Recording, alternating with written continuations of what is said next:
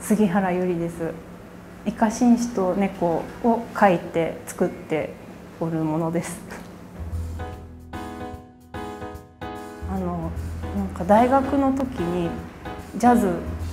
を聴く機会があってその時に何気なくジャズを聴いてみたんですけどすごい感動してなんか音楽に感動してその楽器をやりたいなとか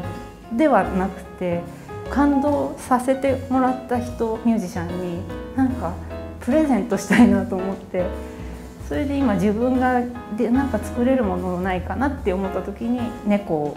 の絵でそれでその人の持ってる楽器をそそっくりにしてそれがきっかけでなんかあ喜んでもらえるんだっていうのが分かって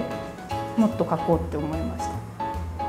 イカはそのイラストのカットを描くお仕事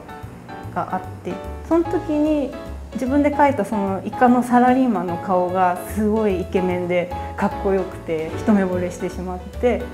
それをなんか自分の猫と一緒になんか抱き合わせにできないかなって考えていこうかなって思いましたね。なんかただ可愛いとかじゃなくちょっとなんか毒があったりとかちょっと変態だったりとか何かなんかちょっとツッコミどころのあるような作品にしたいっていういつも思ってそれはネタをいろいろいつも考えてますね。なんか生活の中のお楽しみとかこうワクワクしてもらったりなんか元気が出るとかそういう